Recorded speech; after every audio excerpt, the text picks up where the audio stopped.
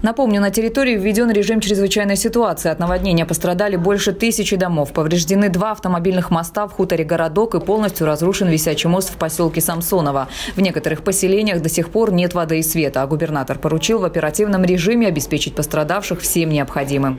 Максимум три дня у нас должно быть. Три дня до понедельника, чтобы мы расчистили, если будет правильно организован трудовой десант.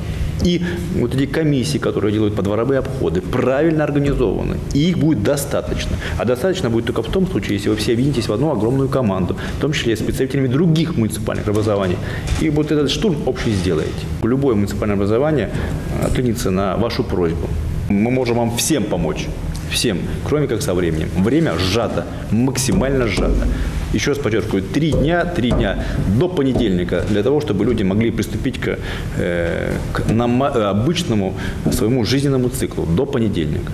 Это уже наша задача. Еще раз подчеркиваю, наша задача. И на тех людей, которые пострадали, ее не перекладывайте. В общей сложности в Обширонском районе эвакуировали 209 человек. Для пострадавших работают три пункта временного размещения. Людей обеспечивают вещами первой необходимости. По поручению губернатора число комиссий подворового обхода увеличено с 4 до 18, чтобы максимально в короткие сроки выплатить компенсации.